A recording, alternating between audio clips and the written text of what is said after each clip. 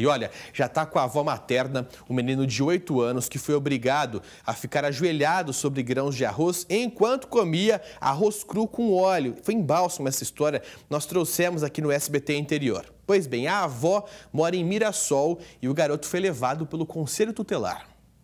A mãe do menino e uma amiga dela tiveram a prisão decretada por 30 dias no dia 30 de maio.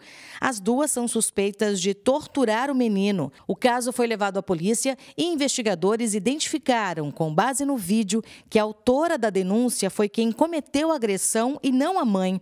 As duas confessaram ter cometido o crime durante depoimento na delegacia de Macaubal. Elas permanecem à disposição da justiça na cadeia pública de Andeara.